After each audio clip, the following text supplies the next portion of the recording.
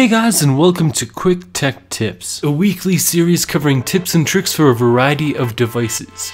In this episode, I'll show you how to dim your iPhone display beyond what the general settings allow you to do. So let me show you how this is done.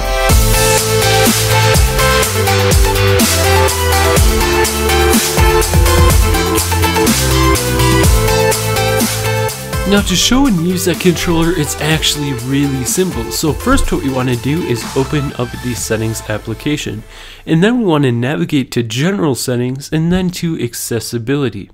And from here let's open up the zoom menu and we want to make sure zoom is on and show controller is on. When you press on show controller a new option will be present and that is the visibility. So when you press on that, we have a couple options. We can make this controller more visible or less visible. I tend to make it less visible because it's less intrusive when I use my phone. So now let's close up all of these settings panes and go to our home screen. So now the obvious part is opening up that controller. So just tap on it one time.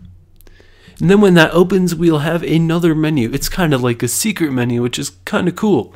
So if it's looking a little funky and zoomed in, make sure that you are zoomed out so it looks as it normally would when you don't have the zoom turned on. So next what we want to do is we want to go to choose filter and press on that. And then a sub menu will appear and we want to go down to the low light option. So press on that one time and you'll see your phone has dimmed without you actually dimming it in the control center or in the settings app.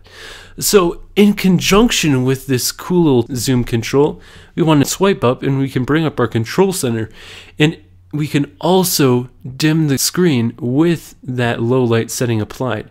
So you can make this screen really dim and that is especially helpful when it's nighttime and you don't want the screen blasting in your face. So if we want to undo this, we can open up this controller again and we can go to choose filter and we can turn off the low light. And if you're feeling fancy, you can show you can choose filters and you can go to grayscale inverted, grayscale or inverted. So I guess I forgot to turn off the low light. But if you're feeling fancy again, you can turn that on and your screen will look crazy.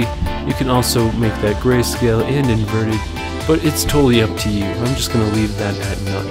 So that's pretty cool how you can use that low light setting to dim your display without dimming it in your control center. So it just makes it a lot dimmer and a lot easier to use when it's darker outside.